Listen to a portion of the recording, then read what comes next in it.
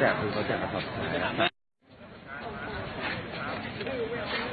เขาแจกช่วยแจก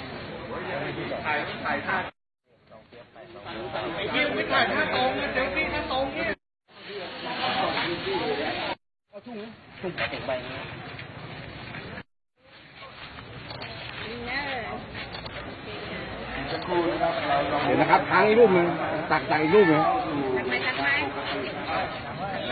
ค้างไว้ก่อนค้างไว้ก่อน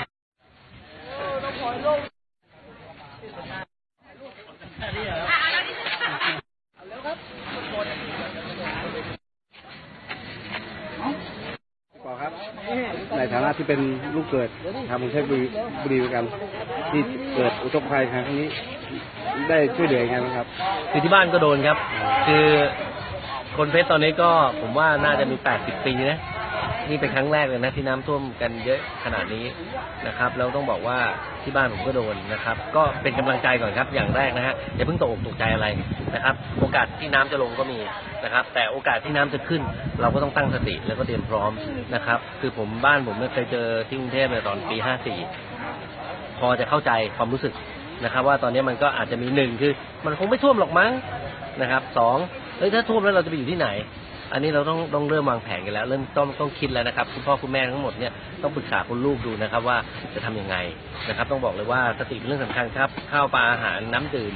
นะครับ รวมถึงไฟฉายถ่านไฟฉายต้องต้องตุนไว้บ้างสต็อกไว้บ้าง นะครับ ใครที่มีเยอะก็เผื่อแผ่ให้คนอื่นบ้าง ก็จะได้ใช้กันได้ทุกกว้างๆจะได้มีแล้วก็อีกสำคัญคือพวกงูพวกสัตว์เลื้อยคลานต่างๆนะครับยาทาอะไรก็ต้องระวังด้วยช่วงนี้ยุงเยอะครับผมอย่างที่เอากระสอบทรายวันนี้มาทั้งหมดกี่ใบได้ครับหนึ่งหมื่นถุงครับ ก็ห้าพันถุงเนี่ยเราก็จะขออนุญาตแบ่งไว้ให้ทางเทศบาล นะครับ เพื่อที่จะเอาไปนะเอาไปช่วยในเรื่องของกั้นตลิ่งอะไรต่างๆ ให้ให้ได้สะดวกรวดเร็วนะครับฉับไวนะครับ ไม่ต้องรอของอะไร เพราะว่าตอนนี้ปัญหาก็คือมีอยู่นิดเดียวครับ ก็คือไม่ใช่ปัญหาหรอกครับ ก็คือว่าตอนนี้เหมือนกับว่าเรามีทราย แต่ถุงเนี่ยยังเป็นที่ต้องการอยู่ ผมก็เลยเอาถุงมาเสริมด้วย อีก 5,000 ถุงก็แบ่งในในภาคประชาชนนะครับ ก็มาแจกจ่ายให้กับทุกๆบ้าน ทุกคนก็มาเข้าคิวรับไปได้เลยนะครับ ก็บ้านละ 20-30 ถุงก็ว่ากันไปนะครับ ก็ในเบื้องต้นก็เอาเท่านี้ก่อน แต่เรื่องทรายเนี่ยก็จะมีทางเทศบาลเนี่ยจะมีทรายอยู่ตรงนี้ และมีหลายจุดเลยที่เขาเขาอำนวยความสะดวกให้ให้ตักทรายฟรีเลยก็ก็ขอให้เป็นกำลังใจแล้วก็ช่วยเหลือกันและกันช่วงนี้ผมว่าจะเป็นช่วงที่คนเพชรจะหันมารักกันมาก ๆเลยนะครับช่วงนี้ เล่น ทุกวันอืม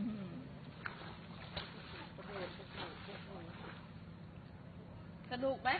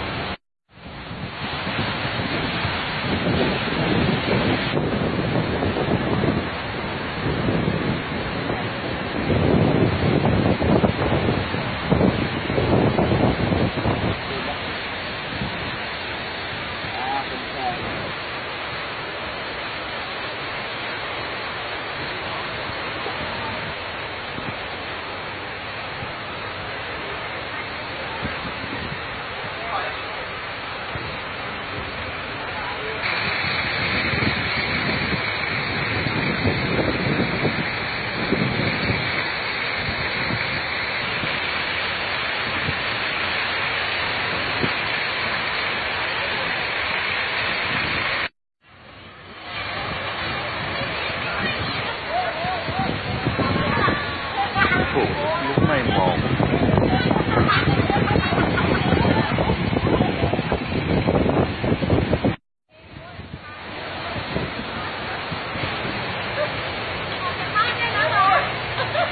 มีรถมารับ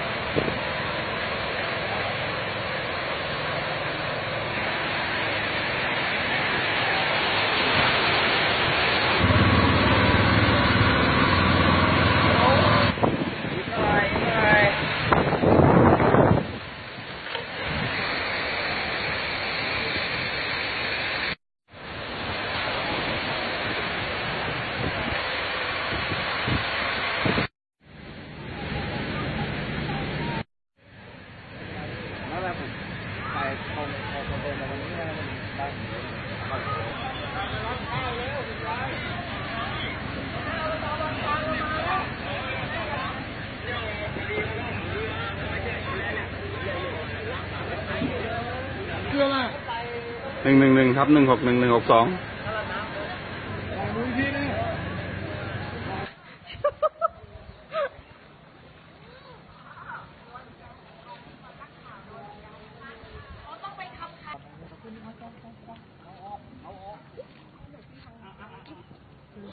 หนึ่งหกห้ารับของไปจ้าไปหา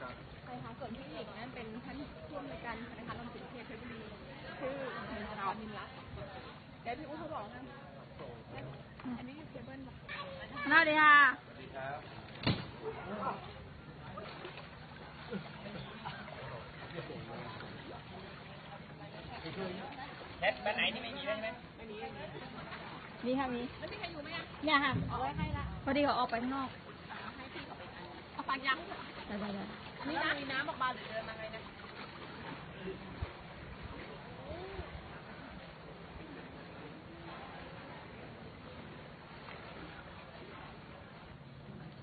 เออ